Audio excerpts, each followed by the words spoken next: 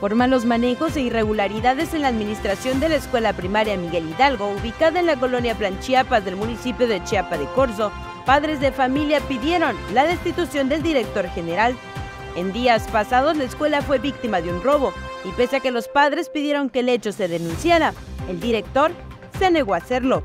El robo a la escuela fue, fueron unos tanques de gas, fueron este, ventiladores, material de los niños. De eso fue lo que, se llevaron aquí. La falta de actuar no solamente con el robo, sino que ya años anteriores este, no, hace pues el trabajo de un director.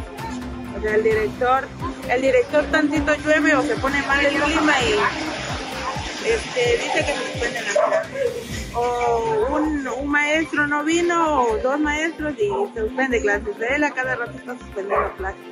Los padres de familia aseguran que el director no cumple con su horario laboral, por lo que pidieron la intervención de las autoridades educativas. Al director ya se le habló eh, de buena manera, que se jubile porque él ya no está apto para estar aquí en dirección. El señor director eh, prácticamente no viene a trabajar, los días que quiere viene. Eh, se va temprano, vienen los papás a querer hablar con él una constancia o algún problema de los niños, el director nunca está.